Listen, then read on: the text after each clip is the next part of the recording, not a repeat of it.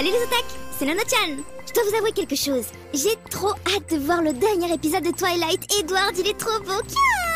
Non mais euh, revenez, c'était une blague Non mais sérieux, si on peut plus déconner maintenant. Bon, si je vous mets une image en rapport posté par Josh Whedon sur un célèbre réseau social, vous me pardonnez?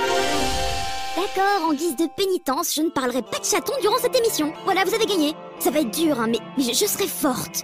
Commençons donc par cette armure bien classe de Mass Effect. Pour ceux qui sont pas très à l'aise avec des ciseaux pour tripatouiller du vinyle, du nylon et autres tissus, un peu comme moi quoi, le site BioWeapon vous propose l'attirail complet pour la bagatelle de 1300 dollars environ. Ouh, bah c'est pas cher, ça va.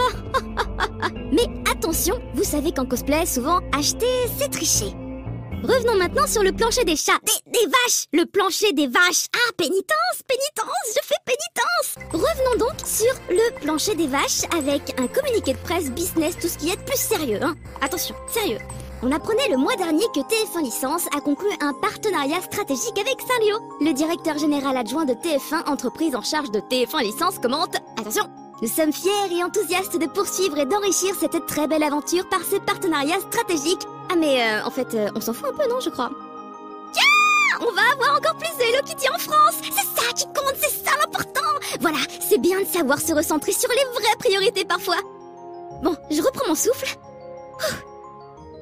Dans le style licence iconique qui se décline à toutes les sauces, on a aussi bien sûr les monstres de poche qui ont conquis le monde depuis 96. Ah, qu'est-ce que j'étais fière de présenter Pikachu à mes copains lors de mon retour du Japon, tel un oracle prophétisant. Un jour, vous voudrez tous les attraper. Je sais pas pourquoi, mais aujourd'hui j'ai l'impression que j'ai la digression facile. Quoi qu'il en soit, au jour d'aujourd'hui, de nos jours du maintenant actuel, on peut encore se laisser surprendre par l'interprétation qu'ont certains artistes de ces bestioles virtuelles. Par exemple, la version burtonienne ou encore la version ukiyo-e.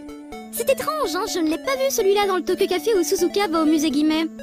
Pourtant, cette version que l'on doit aux artistes Jet Henry et David Bull est très réussie. On peut voir d'autres œuvres du même genre sur leur site. Au passage, vous avez noté la transition? Comment je vous ai fanté avec la news sur Hello Kitty Vous avez rien vu, hein? Avouez, hein? Ah, ah, en fait Non? D'accord? Ah, Pénitence, pénitence, le, pénitent, le pénitent, le, pénitent est humble. Il s'agenouille devant la toute-puissance du LOLCAT. Oui, on se prosterne devant un livre comme Moi, Marusha enrobé. Il s'agit de l'autobiographie traduite dans la langue de Molière du plus célèbre LOLCAT du Japon. Maru, je suis fan de toi À vous les joies de regarder pendant des heures ce chaton dont le péché mignon est de plonger à travers des emballages vides. Hein de toute façon, l'omnipotence du chat est un fait établi au Japon depuis longtemps et reconnu par ses plus grands auteurs comme Natsume Soseki et son grand classique de la littérature japonaise, Je suis un chat, ou Wagahai wa Neko de Haru de son titre original. Ouais, je sais, je parle trop bien japonais. Et c'est sur cette note culturelle de bonne aloi que je vous dis à la semaine prochaine. Ciao les otaques